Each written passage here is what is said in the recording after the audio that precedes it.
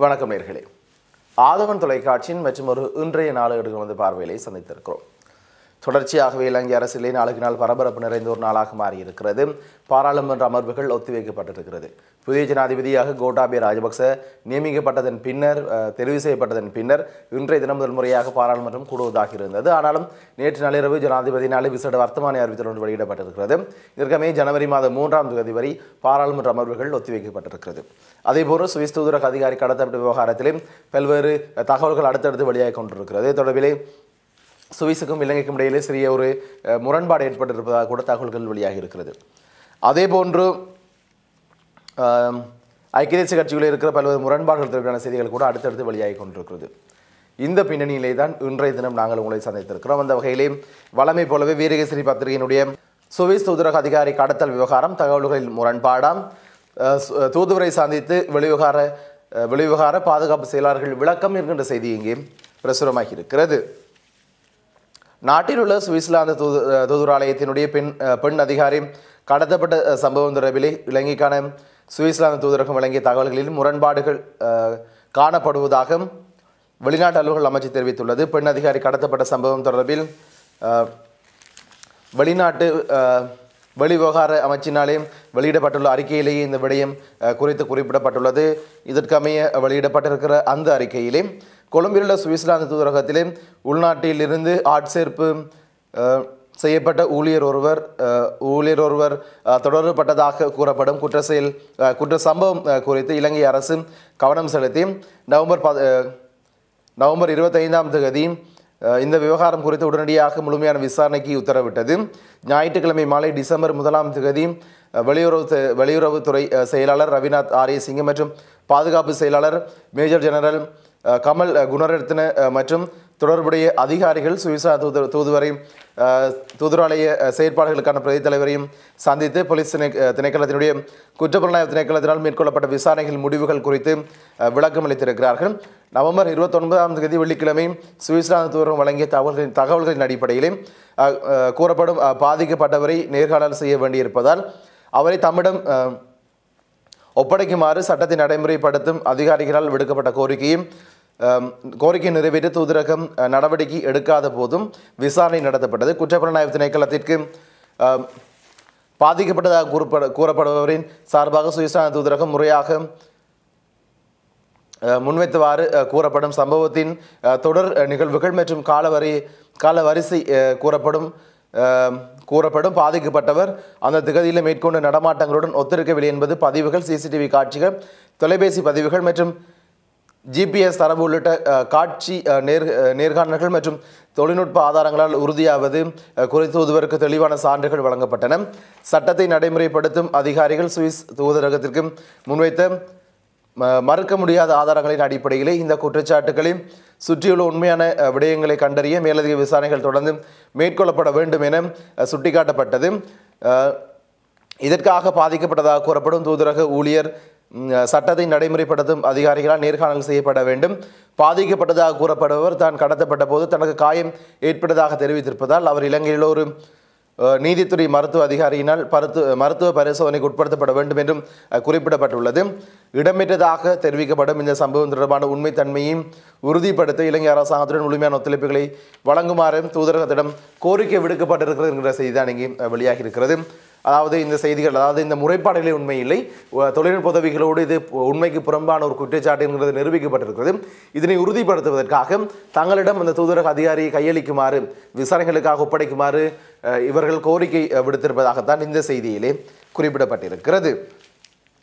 தொடர்ச்சியாக நாங்கள் மற்றொரு செய்தியை பார்த்தால் அந்த செய்தியும் இதோடு சம்பந்தப்பட்ட ஒரு செய்தியாகத்தான் காணப்படுகிறது. பாதிக்கப்பட்ட சுவிஸ் தூதரக ஊழியர் எவ்வாறு வாக்குமூலம் அளிக்க முடியும்? அரசாதின் கோரிக்கை வேடிக்கையானது என்கிறார் ராஜித என்கின்ற செய்தி இங்கே பிரசுரமாகி இருக்கிறது. அண்மையிலே கடத்தப்பட்ட சுவிஸ் தூதரக ஊழியர் மிகவும் அச்சமடைந்த நிலையிலே உடல்நிலை சேதமடை மோசமடைந்து அவருடைய குடும்பத்தாருடன் கூட பேச முடியாத நிலையில் இருக்கிறார். அவ்வாறு இருக்க அவர் வந்து வாக்குமூலம் வழங்க வேண்டும் என அரசாங்கம் கூறிக்கொண்டிருக்கிறது. அவர் எப்படி அந்த வாக்குமூலங்களை வழங்குவார் என முன்னாள் அமைச்சர் ராஜித சேனாரத்தின கேள்வி எழுப்பியிருப்பதாகத்தான் இந்த செய்தியிலே குறிப்பிடப்பட்டிருக்கிறது. தொடர்ச்சியாக அவர் தொடர்பிலே நேற்றைய தினம் தற்போதைய அரசாங்கம் மனித உரிமை விடயத்திலே தவறான பாதையில் பயணிப்பதற்கு முயற்சி அஹ், முற்படுமாக இருந்தால் இரண்டாயிரத்தி பதினைந்தாம் ஆண்டிற்கு முன்னரை போன்று நாடு சர்வதேசத்தின் மத்தியிலிருந்து தனிமைப்படுத்தப்பட்டது தனிமைப்படுத்தப்படுவதுடன் தற்போதைய பொருளாதார நிலவரத்தின் பிரகாரம் கடும் நெருக்கடியான நி- நிலைகளையும் எதிர்நோக்க நேரிடும் எனவும் முன்னாள் அமைச்சர் ராஜ சேனாரத்ன எச்சரிக்கை விடுத்திருப்பதாக விடுத்திருப்பதாகத்தான் இந்த செய்தியிலே குறிப்பிடப்பட்டிருக்கிறது. நேற்றைய தினம் ஸ்ரீகோதாவில் இடம்பெற்ற ஊடகவியலர் சந்திப்பின் போதுதான் அவர் இவ்வாறு எச்சரிக்கை விடுத்திருக்கிறார். தொடர்ச்சியாக அவர் தெரிவித்த கருத்துக்களை பார்ப்போமேயானால் கடந்த இரண்டாயிரத்தி பதினைந்தாம் ஆண்டு உருவாக்கப்பட்ட எமது நல்லாட்சி அரசாங்கத்தில் சில குறைபாடுகள் காணப்பட்ட போதிலும் நாங்கள் நாட்டிலே ஜனநாயகத்தை ம- ஜனநாயகத்தையும் மக்களின் மனித உரிமைகளையும் வலுப்படுத்தியுள்ளோம். ஜனநாயக கட்டமைப்புகளான நீதிமன்றம் போலீஸ் ஆணைக்குழு ஆணைக்குழு தேர்தல்கள் ஆணைக்குழு உள்ளிட்டவரின் சுயாதீன தன்மையை வலுப்படுத்தினோம் சுமார் முப்பத்தைந்து வருடத்திற்கு பின்னர் தெற்கை போன்றே வடக்கிலும் மக்கள் தமது உரிமைகளை கோரி போராடக்கூடிய நிலை நிலைமையை நாம் ஏற்படுத்தினோம். ஆனால் உணவிலே உப்பு சரியாக சரியான அளவிலோ அல்லது மிகையாகவோ உள்ளபோது யாரும் அதன் யாருக்கும் அதன் அருமை அருமை புரிவதில்லை. உப்பு குறைவடையும் போது அல்லது இல்லாதிருக்கும் போதுதான் அதன் அருமையை உணர்ந்து கொள்ள முடியும். எனவே கடந்த காலத்திலே எமது அரசாங்கம் பெற்றுக் கொடுத்த சுதந்திரத்தின் அருமை இனிவரும் காலங்களிலே புரிய ஆரம்பிக்கும். தேர்தலுக்கும் பின்னர் வெள்ளை வேன் தொடர்பான தகவல் ஒன்றை நான் வெளி வெளியிட்ட போது அது பொய் என்று பலரும் சாடினார்கள். ஆனால் புதிய அரசாங்கம் பதவியேற்று சுமார் ஒரு வார காலத்திலேயே வெள்ளை வேன் வந்துவிட்டது. கொழும்பு கொழும்பிலுள்ள சுவிஸ் தூதரகத்தின் ஊதி ஊழியர் துப்பாக்கி முன்னிலே கடத்தப்பட்டிருக்கிறார். அதனால் மிகுந்த அச்சமடைந்த நிலையிலே உடல்நிலை மிகவும் மோசமடைந்து அவருடைய குடும்பத்தாருடன் கூட பேச முடியாத நிலையிலே பாதிக்கப்பட்ட ஊழியர் இருக்கிறார். அவ்வாறு இருக்க அவர் வந்து வாக்குமூலம் வழங்க வேண்டும் என அரசாங்கம் கூறிக்கொண்டிருக்கிறது. அவரால் எவ்வாறு வாக்குமூலம் அளிக்க முடியும்? அதே போன்று இனியும் இங்கு பாதுகாப்பில்லாத நிலையில் அவரையும் அவரது குடும்பத்தாரையும் சுவிட்சர்லாந்துக்கு அனுப்புவதற்கு முயற்சிகள் மேற்கொள்ளப்படுகின்றன. அடுத்ததாக ஊடக நிறுவனங்கள் சோதனையிடப்படுவதுடன் ஊடகவியலாளர்கள் குற்றப்புலனாய்வு பிரிவின் நான்காம் மாடிக்கு அழைக்கப்பட்டு விசாரணைகளுக்கு உட்படுத்தப்படுகிறார்கள். நான் பல வருடங்களுக்கு முன்னர் நான்காம் மாடிக்கு சென்றிருக்கிறேன். அங்கு காணப்படும் சூழ்நிலை எத்தகையது என்பதை எனக்கு நான் நன்கு அறிவேன். அவ்வாறு இருக்கையிலே உண்மையிலே விசாரணைகள் நடத்தும் நோக்கம் எதுவுமின்றி ஊடகவியலாளர்களை அச்சுறுத்துவதற்காக அங்கு அழைத்து சென்று பல மணி நேரம் தடுத்து வைத்திருக்கிறார்கள் என்கின்ற பல்வேறு குற்றச்சாட்டுகளை அவர் முன்வைத்திருப்பதாகத்தான் இந்த செய்தியிலே குறிப்பிடப்பட்டிருக்கிறது. அதே போன்று புதிதாக பதவியேற்றுக் கொண்ட ஜனாதிபதி அணிகின்ற ஆடைகளின் சாதாரண தன்மை தனக்கான பாதுகாப்பு வாகனங்களின் எண்ணிக்கையை குறைத்தமை போன்ற சாதாரண வரவேற்கத்தக்கது. ஆனால் தற்போது முன்னெடுக்கப்படுகிற மேற்படி செயற்பாடுகளை மறைப்பதற்கான ஒரு போர்வையாக போர்வையாக அவர் இத்தன்மையை பயன்படுத்துகின்றாரா என்கின்ற சந்தேகம் தனக்கு எழுந்திருப்பதாகவும் முன்னாள் அமைச்சர் ராஜ சேனாரத்தின் நேற்று தினம் இடம்பெற்ற அந்த ஊடகவியலாளர் சந்திப்பிலே தெரிவித்திருந்தார் என்பது மிக முக்கியமானது.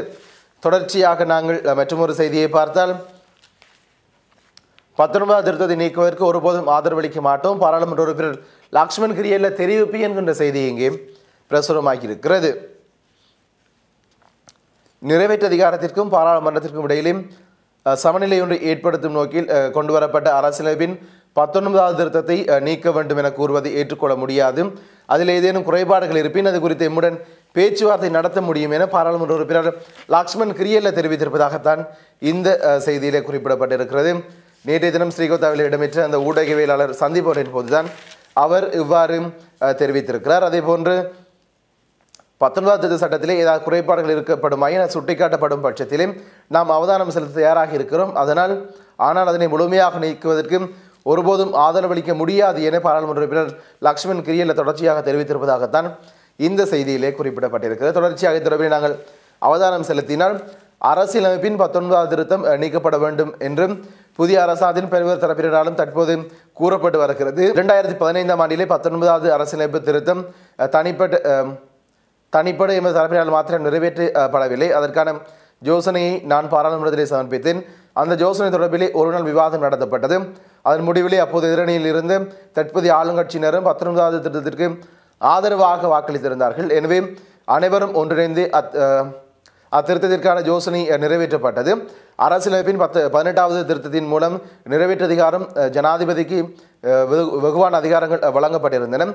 ஆனால் நிறைவேற்று அதிகாரத்திற்கும் பாராளுமன்றத்திற்கும் இடையிலே சமநிலை சமநிலையொன்றை ஏற்படுத்துதல் சுயாதீன ஆணைக்குழுக்களை ஸ்தாபித்து அவை அரசியல் தலையீடின்றி இயங்குவதற்கு அனுமதி அளித்தல் ஆகியவற்றை நோக்காக கொண்டே நாம் அரசியலமைப்பின் பத்தொன்பதாவது திருத்த யோசனையை முன்வைத்தோம். அதனூடாக நீதிமன்றம் தேர்தல்கள் ஆணைக்குழும் போலீஸ் ஆணைக்குழு உள்ளிட்ட அனைத்தும் எவ்வித தலையீடுகளும் அழுத்தங்களும் இன்றி சுதந்திரமாக செயற்பட்டன என்கின்ற விடயத்தை அவர் சுட்டிக்காட்டியிருக்கிறார். அதே போன்று சுயாதீன நீதிமன்ற செயற்பாடுகள் மூலம் கடந்த அக்டோபர் மாதம் இருபத்தி ஆறாம் தேதி ஏற்படுத்தப்பட்ட அரசியல் அமைப்பு நெருக்கடிக்கு நியாயத்தை பெற்றுக்கொண்டும் மிகவும் சுயாதீனமானதும் நேர்மையானதும் அமைதியானதுமான முறையிலே நடைபெற்ற ஜனாதிபதி தேர்தல் தேர்தலும் பத்தொன்பதாவது திருத்தத்தின் ஊடாக தேர்தல்கள் ஆணைக்குழு சுயாதீன தன் சுயாதீனப்படுத்தப்பட்டதமையின் மூலமே சாத்தியமானது என்கின்ற விடயத்தை அவர் சுட்டிக்காட்டியிருப்பதாகத்தான் இந்த செய்தியிலே குறிப்பிடப்பட்டிருக்கிறது.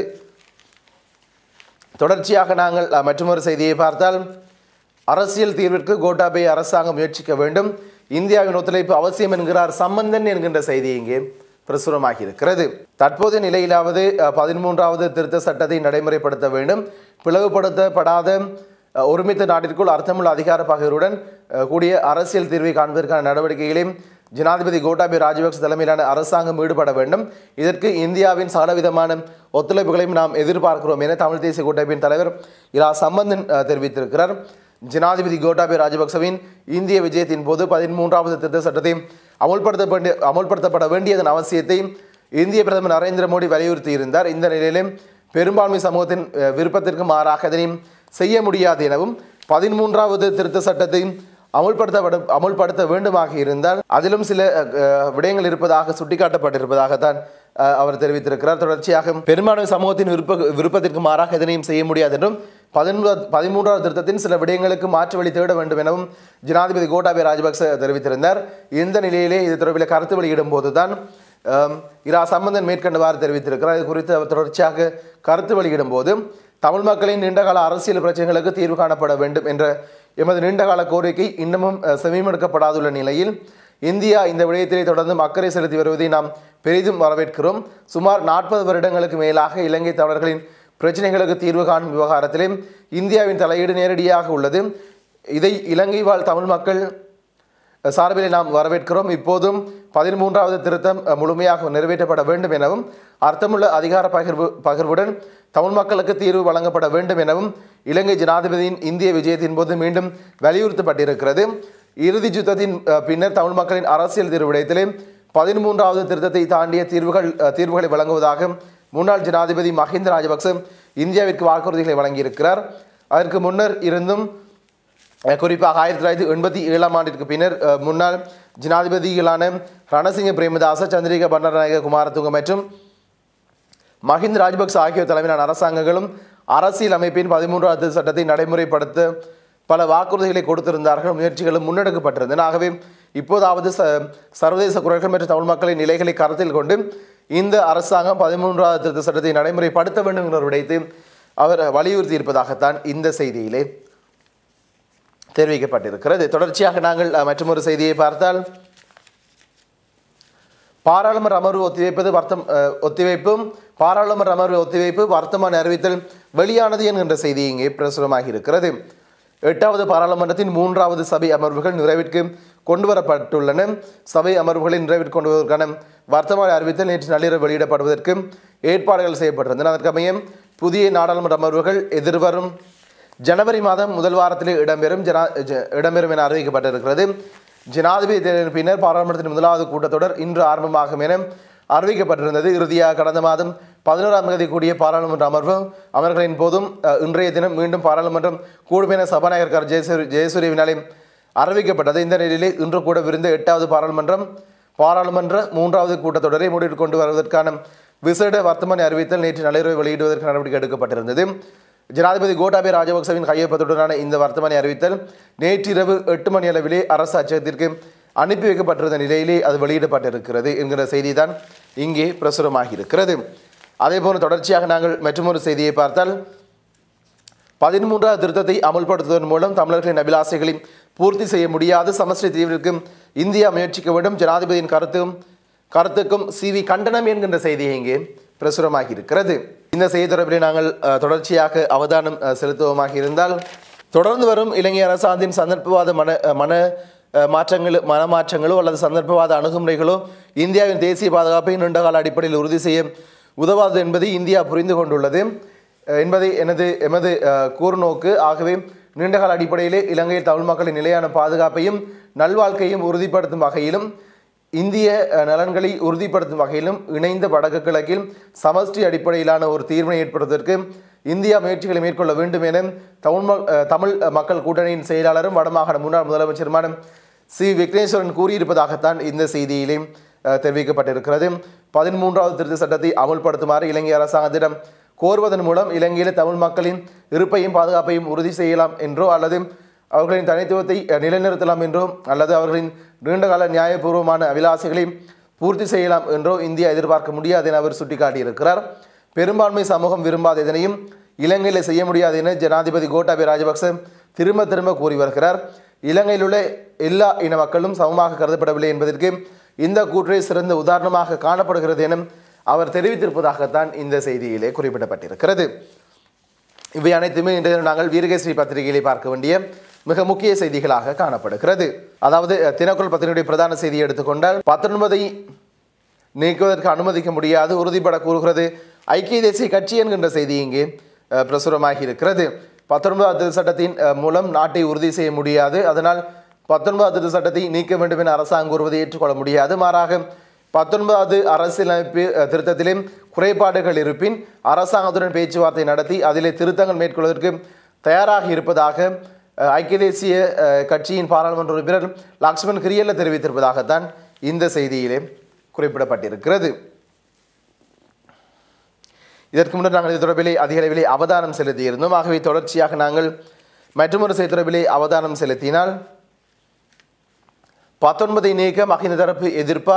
வாசு கூறுவது என்ன என்கின்ற கேள்விக்குறியான செய்தி ஒன்று இங்கே வெளியாகி இருக்கிறது. ஜனாதிபதி ஆட்சி முறையிலிருந்து பாராளுமன்ற ஆட்சி முறைக்கு மாற்றப்பட வேண்டும் என்பதே ஸ்ரீலங்கா போஜன பிரமிடவின் கொள்கையாக இருக்கிறது. அதன் முதல் கட்ட முதல் கட்ட செயற்பாடாகவே பத்தொன்பதாவது திருத்தம் கொண்டு வரப்பட்டது ஆனால் பத்தொன்பதாவது திருத்தம் ஜனாதிபதி கோட்டாபய ராஜபக்சவின் என்ன என்பது குறித்து எமக்கு தெரியாது. ஒருவேளை எங்களுக்கு எங்களுடைய நிலைப்பாடுகளிலேயே வேறுபாடுகள் காணப்படலாம். இருப்பினும் இது பேச்சுவார்த்தை நடத்தி முடிவெடுக்க வேண்டிய ஒரு விடயம் என ராஜாங்க அமைச்சர் வாசுதேவ் நாணயகார தெரிவித்திருக்கிறார். அத்தோடு அடுத்த பாராளுமன்ற தேர்தலிலும் மூன்றில் இரண்டு பெரும்பான்மை கிடைக்கும் போது பத்தொன்பதாவது திருத்தத்திற்கு முன்னர் தேர்தல் முறையை மாற்றுவதே முக்கிய தேவையாக இருக்கிறது எனவும் அவர் தெரிவித்திருப்பதாக இந்த செய்தியிலே குறிப்பிடப்பட்டிருக்கிறது. கொழும்பில் நேற்று திங்கட்கிழமை இடம்பெற்ற நிகழ்வு ஒன்றிலே கலந்து கலந்துடன் பின்னர் அங்கிருந்த ஊடகவியலாளர்களின் கருத்து ஊடகவியலாளர்களிடம் கருத்து தெரிவித்த போதே அவர் இவ்வாறு தெரிவித்திருப்பதாக இந்த செய்தியிலே குறிப்பிடப்பட்டிருக்கிறது. இதன்போது அங்கே தொடர்ச்சியாக கருத்து தெரிவித்திருக்கிற அவர். மூன்றில் இரண்டு பெரும்பான்மை அதிகாரம் கிடைத்தால் பத்தொன்பதாவது திருத்தத்தை உடனடியாக நீக்குவதாக ஜனாதிபதி கோட்டாபி ராஜபக்ச தெரிவித்திருந்த கருத்து தொடர்பாக உங்களுடைய நிலைப்பாடு என்ன என ஊடகவியலாளர்கள் எழுப்பிய கேள்விகளுக்கு பதிலளிக்கும் போதே அவர் இவ்வாறு தெரிவித்திருக்கிறார். இது தொடர்ச்சி இது இது குறித்த தொடர்ச்சியாக கருத்து வெளியிடுகையிலே ஜனாதிபதி ஆட்சி முறையிலிருந்து பாராளுமன்ற ஆட்சி முறைக்கு மாற்றம் பெற வேண்டும் என்பதே ஸ்ரீலங்கா போஜன பிரமணவின் கொள்கையாக இருக்கிறது. அதன் முதற்கட்ட செயற்பாடாகவே பத்தொன்பதாவது திருத்தம் கொண்டு வரப்பட்டது இதனால் முரண்பாடுகள் மற்றும் குழப்பங்கள் ஏற்படலாம். ஆனால் கொள்கையின்படி ஜனாதிபதி ஆட்சி முறையிலிருந்து பாராளுமன்ற ஆட்சி முறைக்கு மாற்றப்பட்டும். நிறைவேற்று அதிகாரம் பாராளுமன்றத்திடம் வழங்கப்பட வேண்டும். பத்தொன்பதாவது திருத்தம் குறித்து ஜனாதிபதி கோட்டாபி ராஜபக்சவின் நிலைப்பாடு என்ன என்பது எனக்கு தெரியாது. ஆகவே அவருடைய நிலைப்பாடுகளும் எங்களுடைய நிலைப்பாடுகளுக்கும் இடையிலே வேறுபாடுகள் காணப்படலாம். இருப்பினும் ஒரே நிலைப்பாட்டிற்கு வர முடியும். ஆகவே இது நாங்கள் பேச்சுவார்த்தை நடத்தி முடிவெடுக்க வேண்டிய ஒரு விடயமாக காணப்படுகிறது. பெரும்பான்மை எங்களுக்கு கிடைக்கும் போது மு- முதலிலே தேர்தல் முறையிலே மாற்றத்தை ஏற்படுத்த நாங்கள் முயற்சிப்போம் என அவர் தெரிவித்திருப்பதாகத்தான் இந்த செய்தியிலே குறிப்பிடப்பட்டிருக்கிறது. அதே போல தொடர்ச்சியாக நாங்கள் மற்றொரு செய்தியை பார்த்தால் ஐக்கிய தேசிய கட்சி ஐக்கிய தேசிய கட்சியின் பாராளுமன்ற குழு கூட்டம் வியாழக்கிழமை இடம்பெறப் போவதாக இந்த செய்தியிலே குறிப்பிடப்பட்டிருக்கிறது. எதிர்க்கட்சித் தலைவர் பதவி உள்ளிட்ட ஐக்கிய தேசிய கட்சிக்குள் நிலவும் முரண்பாடுகள் தொடர்பில் கலந்துரையாடுவதற்காக எதிர்வரும் வியாழக்கிழமை ஐக்கிய தேசிய கட்சியினுடைய பாராளுமன்ற குழு கூட்டம் கூடி ஆராய இருப்பதாக இந்த செய்தியிலே குறிப்பிடப்பட்டிருக்கிறது. இவை அனைத்துமே இன்று தினம் நாங்கள் தினகுரல் பத்திரிகைகளை பார்க்க வேண்டிய மிக முக்கிய செய்திகளாக காணப்படுகிறது. தொடர்ச்சியாக நாங்கள் வடக்கிலிருந்து வெளியாக இருக்கிற உதயன் பத்திரிகை தொடர்பிலே அவதானத்தை செலுத்தினால் தேர்தல் முடிவுகளில் ஈடு நாட்டு வரைபடம் பிரச்சனையை கிளப்புகிறார் அமைச்சர் கெகலிய ரமோக்வெல என்கின்ற செய்தி உதயன் பத்திரிகையினுடைய பிரதான செய்தியாக வெளியாகி இருக்கிறது அதே போன்று வலமுறை பத்திரிகையின் பிரதான செய்தியை எடுத்துக்கொண்டால் ஒரு மாத காலத்திற்கு பா பாராளுமன்றத்தை முடக்கினார் கோட்டா என்கின்ற செய்தி தான் இங்கே பிரசுரமாகி இருக்கிறது அதே போன்று காலைக்கதிர் பத்திரிகையின் பிரதான செய்தியை எடுத்துக்கொண்டால் வடக்கு கிழக்கில் ஒருபோதும் நா எப்போதும் வடக்கு கிழக்கில் இப்போதும் நாமே பெரும்பான்மையினர் கோட்டாபாயிற்கு விக்னேஸ்வரன் பதிலடி என்கின்ற செய்தி இங்கே பிரசுரமாகியிருக்கிறது. அதே போன்று தொடர்ச்சியாக கொழும்பிலிருந்து வெளியாக இருக்கிற டெய்லி மிரர் பத்திரிகையினுடைய பிரதான செய்தி தொடர்பிலே நாங்கள் அவதானம் செலுத்தினால் டெய்லி மிரர் பத்திரிகையின் பிரதான செய்தியாக பாராளுமன்றம் எதிர்வரும் ஜனவரி மாதம் மூன்றாம் தேதி வரை ஒத்திவைக்கப்பட்டிருக்கிறது என்ற செய்தியை தாங்கியவனம் தான் இந்த செய்தி வெளியாகி இருக்கிறது அதே போன்று லங்காதீப பத்திரிகையின் பிரதான செய்தி எடுத்துக்கொண்டால் லங்காதீப பத்திரிகையின் பிரதான செய்தியும் அதே செய்தியை தாங்கியனும் தான் வெளியாகி இருக்கிறது எதிர்வரும் ஜனவரி மாதம் மூன்றாம் தேதி வரை பாராளுமன்ற அமர்வுகள் ஒத்திவைக்கப்பட்டிருக்கின்றன என்கின்ற செய்தியை தாங்கியனும் தான் இன்றைய இந்த செய்தியும் வெளியாகி இருக்கிறது அதே போன்று இன்றைய தினம் மிக மிக முக்கிய இடத்தை பிடித்திருக்கிற மலையக செய்தியை பற்றி நாங்கள் பார்த்தால் ஜனாதிபதி தேர்தலுக்கு பிறகு நுவரெலியா மாவட்டத்தை நாட்டு மக்கள் திரும்பி பார்க்கும் நிலை ஏற்பட்டுள்ளது. மத்திய மாகாண சபை முன்னாள் உறுப்பினர் ஸ்ரீதரன் தெரிவிப்பு என்கின்ற செய்தி இங்கே பிரசுரமாகி இருக்கிறது ஜனாதிபதி தேர்தலுக்கு பிறகு வடக்கு கிழக்கு வடக்கு கிழக்கிற்கு அடுத்தபடியாக நுவரெலியா மாவட்டத்தை நாட்டு மக்கள் திரும்பி பார்க்கும் நிலை ஏற்பட்டுள்ளது என தொழிலாளர் தேசிய சங்கத்தின் பிரதி நிதி செயலாளரும் மத்திய மாகாண சபை முன்னாள் உறுப்பினருமான சோ ஸ்ரீதரன் தெரிவித்திருக்கிறார். நேற்றைய தினம் இடம்பெற்ற நிகழ்வு ஒன்றிலே பங்கேற்று உரையாற்றிய போதுதான் அவர் இவ்வாறு தெரிவித்திருப்பதாக இந்த செய்தியிலே குறிப்பிடப்பட்டிருக்கிறது. அதே போன்று இன்றைய நமக்கு முக்கியத்தை பிடித்திருக்கிற சர்வதேச பற்றி சர்வதேச செய்தி பற்றி நாங்கள் பார்த்தால் ஐக்கிய நாடுகள் காலநிலை மாற்ற உச்சி மாநாடு ஸ்பெயினில் ஆரம்பம் என்கின்ற செய்தி இங்கே குறிப்பிடப்பட்டிருக்கிறது. ஐக்கிய நாடுகள் சபையின் காலநிலை மாற்றம் தொடர்பான தொடர்பான இரு இருவார உச்சி மாநாடு நேற்று திங்கட்கிழமை ஸ்பெயின் ஸ்பெயினின் மெட்ரிட் நகரிலே ஆரம்பமாகியிருக்கிறது. மேற்படி உச்சி மாநாட்டிலே ஐக்கிய நாடுகள் சபையின் அங்கத்துவ நாடுகளின் தலைவர்களும் பிரதிநிதிகளும் கலந்து கொண்டிருப்பதாக இந்த செய்தியிலே குறிப்பிடப்பட்டிருக்கிறது. அதே போன்று இன்றைய தினம் முக்கிய இடத்தை பிடித்திருக்கிற இந்திய செய்தி பற்றி பார்த்தால் கோவையில் துயரம் வீடுகள் இடிந்து விழுந்ததிலே பத்து பெண்கள் நான்கு குழந்தைகள் உட்பட பதினேழு பேர் பலி என்கின்ற செய்தி இங்கே பிரசுரமாகி இருக்கிறது தமிழகத்தின் கோயம்புத்தூர் மாவட்டத்தில் கனமழையால் வீடு இடைந்து விழுந்ததில் எட்டு பேர் பழைய பலியாக இருந்த நிலையிலும் இடிபாடுகள் சிக்கியுள்ளவர்களின் எண்ணிக்கை பதினேழாக அதிகரித்திருக்கிறது என்கின்ற செய்தி தான் இங்கே அஹ், இருக்கிறது நேற்றைய தினம் இந்தியாவை மட்டுமல்ல சர்வதேசத்தை முழுக்கிய ஒரு செய்தியாகத்தான் இந்த செய்தி காணப்படுகிறது. தொடர்ச்சியாக நாங்கள் வீரகேசரி பத்திரிகையுடைய ஆசிரியர் தலையங்கத்தை பார்த்தால் பதிமூன்றாவது திருத்த சட்டமும் தமிழர்களின் அரசியல் நகர்வும் அரசியல் தீர்வும் என்கிற தலைப்பிலான ஆசிரியர் தலைங்கம் இங்கே வெளியாகி இருக்கிறது புதிய ஜனாதிபதி கோட்டாபே ராஜபக்ச பதவியேற்றுள்ள நிலையிலே தமிழ் மக்களின் பிரச்சனைகளுக்கு தீர்வு காணக்கூடிய நிலைமை உருவாகுமா என்கிற கேள்வி எழுந்திருக்கிறது. இந்தியாவிற்கு விஜயம் செய்திருந்த ஜனாதிபதி கோட்டாபே ராஜபக்ச இந்திய பிரதமர் நரேந்திர மோடி உள்ளிட்ட பலரையும் சந்தித்து கலந்துரையாடினர். இந்த கலந்துரையாடலின் போது தமிழ் மக்களின் அபிலாசிகளை தீர்க்கும் வகையிலே பதினொன்றாவது திருத்த சட்டத்தினை அமுல்படுத்த வேண்டும் என்ற இந்தியாவின் எதிர்பார்ப்பை பிரதமர் நரேந்திர மோடி வெளிப்படுத்தி இருப்பதாகத்தான் இந்த செய்தியிலே குறிப்பிடப்பட்டிருக்கிறது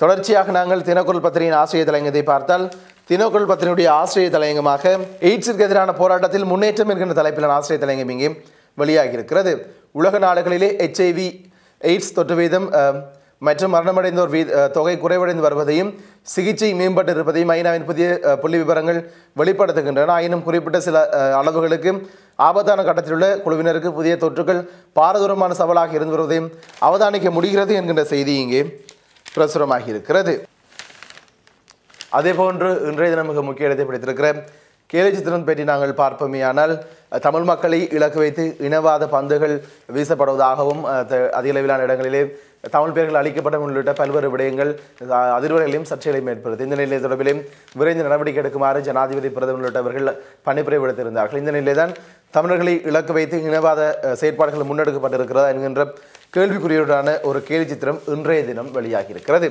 இவை அனைத்துமே இன்றைய நாங்கள் பார்க்க வேண்டிய மிக முக்கிய செய்திகளாக காணப்படுகிறது. மீண்டும் மற்றொரு நிகழ்ச்சியை சந்திக்கலாம். அதுவரை உனது விடைபெறச் செல்லும் நான் என்றும் உங்கள் அன்பின் பெனி வணக்கம் நேர்களே.